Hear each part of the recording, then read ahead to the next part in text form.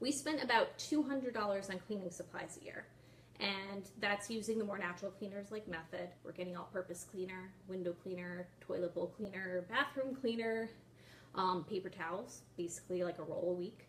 Swiffer, so you've got the Swiffer pads, you've got the Swiffer, um, the Swiffer cleaner, and I even try to make my own cleaner that goes in the Swiffer bottles, which ends up clogging and breaking the Swiffer, so I have to buy a new Swiffer every year as well.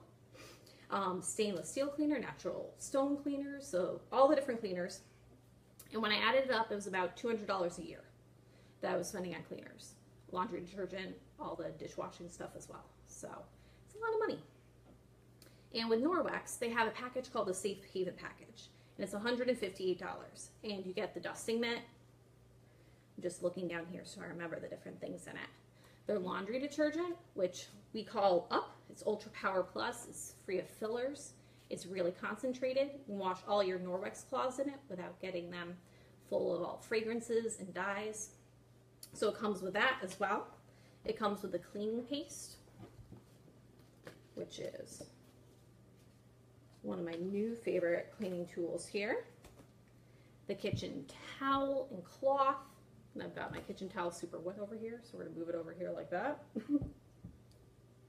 it comes with a Spirisponge, which is a set of two. Your EnviroCloth, your body cloths, so you're gonna get three of these, a window cloth, basically everything you need to replace all the cleaning tools in your home. So that's $158. So that's going to clean everything but your floors. And the mop system is 115. So those all together is $271. However, Norwex has a two-year warranty or guarantee on most of its products. So that's $271 for two years. Two years of cleaning products would be $400 in our house.